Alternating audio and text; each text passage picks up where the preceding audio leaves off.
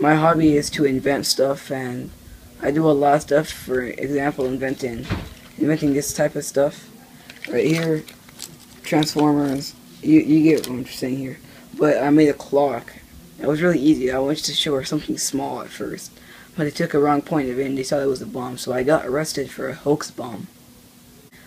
An officer and the principal came and took me up, and they took me to a room filled with five officers, which they interrogated me and searched through my stuff and took my tablet and my invention. And then later that day, I was taken to a juvenile center detention center where they searched me. They took a fingerprint and mugshots of me, and they they searched me until my parents came, and then I got to leave the building and the station.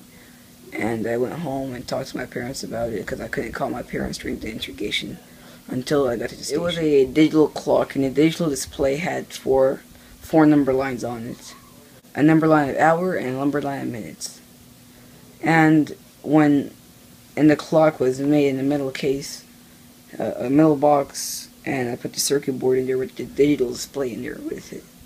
And I put it in place, and I showed my teacher, and it got to the point where I was arrested. But it was made, and I closed it with a cable.